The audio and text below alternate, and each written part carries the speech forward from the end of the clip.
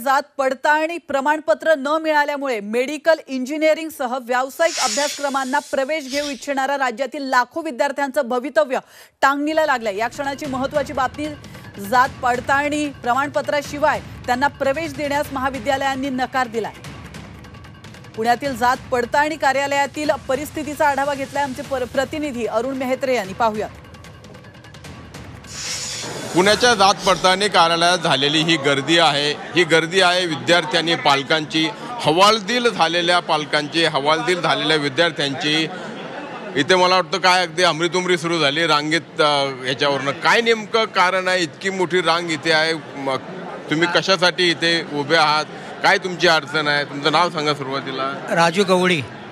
सहा महिने झाले मी दिलं कास्ट व्हॅलिडिटी हां. पण अजून मला मिळालं नाहीये. कुणासाठी? मुलीसाठी मुलीसाठी. मुलीसाठी. एम बी ए करते. आज शेवटचं तारीख आहे त्याची. तीन पर्यंत दिलं ठीक आहे नाही तर मग कॅन्सल होईल. आणि ओपनमध्ये ऍडमिशन होईल माझं. तीन चार महिन्यापासून मी येतो जातो इथे. माझे लास्ट दिवसापासून मी उपाशी इथं रांगेमध्ये उभा राहतोय.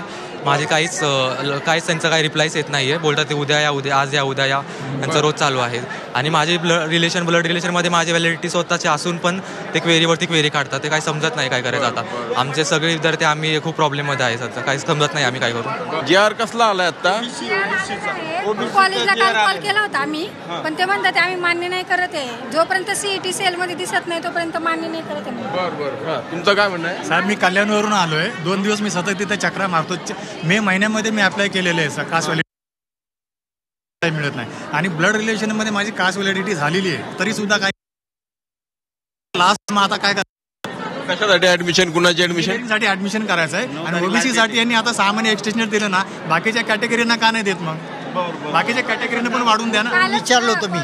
तर. ते म्हटले की सीईटी सेलच्या ॲप्लिकेशनच्या ह्याच्यामध्ये लॉग इनमध्ये जर तुमचा जी आर दिसला तरच मान्य करू. एका अर्थानं. हक्कासाठी या ठिकाणी लढावं लागतंय. दुर्दैवानं सांगावं लागतं आहे की लढावं नाही तर रडावं लागतं आहे जन फिके कांबळे अरुण मेहत्रे झी चोवीस तास पुणे.